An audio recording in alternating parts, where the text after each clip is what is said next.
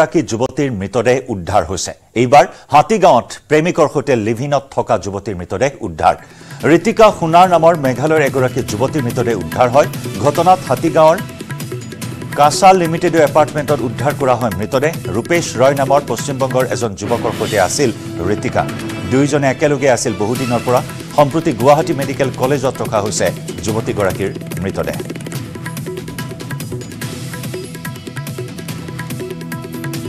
কাছা লিমিটেডো হাতীগাঁৱৰ এই এপাৰ্টমেণ্টত লিভিনত আছিল ঋতিকা ৰূপেশ ৰয় পশ্চিমবংগৰ এজন যুৱকৰ সৈতে লিভিনত আছিল এই এপাৰ্টমেণ্টৰ এটা ফ্লেটত কিন্তু ৰহস্যজনকভাৱে যুৱতীগৰাকীৰ মৃত্যু হৈছে।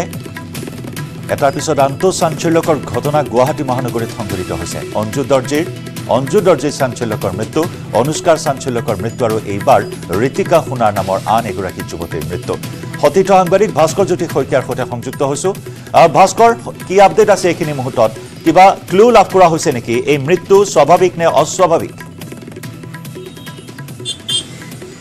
হয় নিশ্চয়কৈ জয়ন্ত যিহেতু ক'ব লাগিব যিহেতু হাতীগাঁৱৰ যি ৰাজপথত সংঘটিত হৈছিল ৰাজপথৰ যি কাছা লিমিটেডৰ নামৰ এপাৰ্টমেণ্টত সংঘটিত হৈছিল এক চাঞ্চল্যকৰ ঘটনা আৰু এগৰাকী যুৱতীৰ মৃত্যুৰ ঘটনাই সমগ্ৰ হাতীগাঁও অঞ্চলত চাঞ্চল্যৰ সৃষ্টি কৰিছিল। এটা কথা নিশ্চয়কৈ ক'ব লাগিব যিগৰাকী যিগৰাকী মেঘালয়ৰ ছোৱালী আছিল ঋতিকা সোণাৰ নামৰ যিগৰাকী যুৱতী আছিল মেঘালয়ৰ তেওঁৰ যি তেওঁক বৰ্তমান যিহেতু এতিয়া পোষ্টমৰ্টেমৰ কাৰণে গুৱাহাটী মেডিকেল কলেজত ৰখা হৈছে আৰু তাৰপিছতে যিগৰাকী লোকৰ সৈতে তেওঁ সহবাস কৰিছিল বা লিভিনত আছিল পশ্চিমবংগৰ যি ৰূপেশ ৰয় নামৰ লোকজনৰ সৈতে তেওঁ লিভিনত আছিল তেওঁক যুৱকজনক বৰ্তমান হাতীগাঁও থানাত ৰখা হৈছে আৰু কালি যিহেতু হাতীগাঁও থানাত তেওঁক আটক কৰিছিল আৰু তেওঁলোকক সোধা পোছা অব্যাহত ৰাখিছে। বৰ্তমানেও যিহেতু এই সন্দৰ্ভত কোনো বৰ্তমানে ক্লু লাভ কৰা নাই হাতীগাঁও থানাৰ আৰক্ষী আৰু এটা কথা নিশ্চয়কৈ ক'ব লাগিব যিহেতু গুৱাহাটী মহানগৰীত এনেধৰণৰ ঘটনা সঘনেই সংঘটিত হোৱা দেখিবলৈ পোৱা গৈছিল তাৰপিছতে কিন্তু আৰক্ষীয়ে পৰিয়ালৰ কোনো লোক আহিছে ভাস্কৰ এই মুহূৰ্তত? কিবা অভিযোগ আনিছে পৰিয়ালৰ লোকে? হয় নিশ্চয়কৈ ক'ব লাগিব জয়ন্ত যিহেতু যুৱতীগৰাকীৰ মাক আৰু তেওঁৰ বৰদেউতাক আহি উপস্থিত হৈছিল কালি যিহেতু পোষ্টমৰ্টেমৰ সময়তে মাক আৰু বৰদেউতাক আহি উপস্থিত হৈছিল কিন্তু তেওঁলোকে যি এই সাংবাদিকৰ আগত বা সংবাদ মাধ্যমৰ আগত কোনো মুখ খুলিব খোজা নাই কিন্তু পৰৱৰ্তী সময়তে তেওঁলোকে নিশ্চয় মুখ খুলিব বা কাৰোবাক তেওঁলোকে সন্দেহ কৰে নেকি এই বিষয়ে তেওঁলোকে অৱগত কৰিব। কিন্তু এটা কথা বৰ্তমান সময়ত নিশ্চয়কৈ ক'ব লাগিব যিহেতু জয়ন্ত গুৱাহাটী মহানগৰীত এনেধৰণৰ ঘটনা সংঘটিত হোৱাৰ পিছতে এই মুহূৰ্তত কিবা কথা প্ৰকাশ কৰিছে এই ঘটনা সন্দৰ্ভত?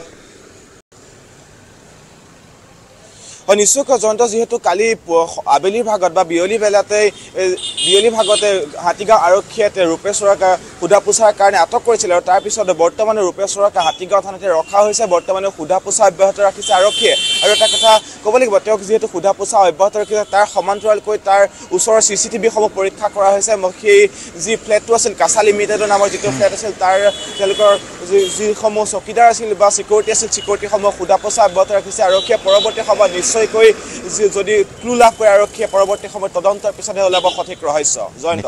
ধন্যবাদ।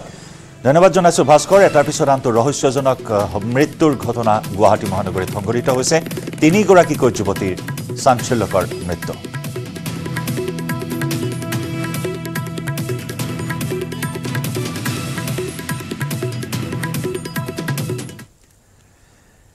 浜口